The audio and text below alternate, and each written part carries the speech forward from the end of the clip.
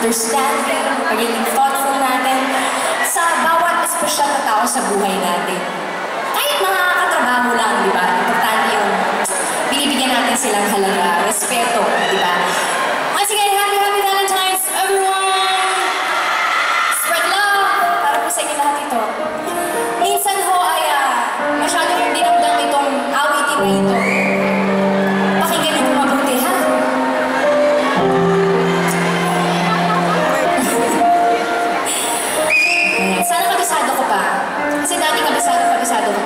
so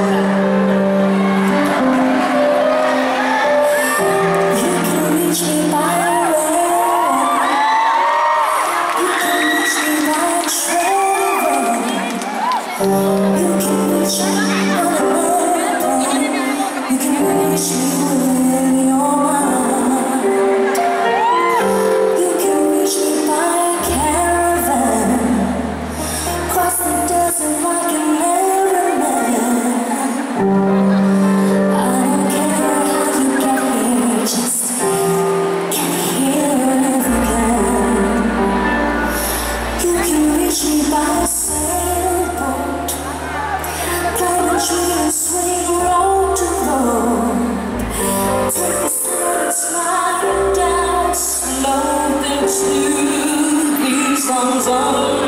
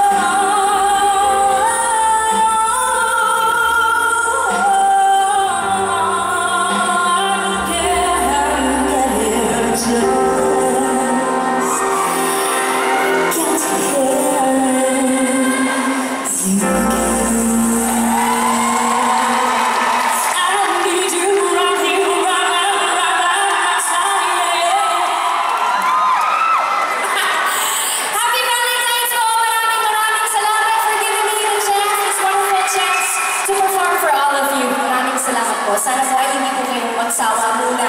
Huwag po muna. Kailangan ko po akong mag-ipon.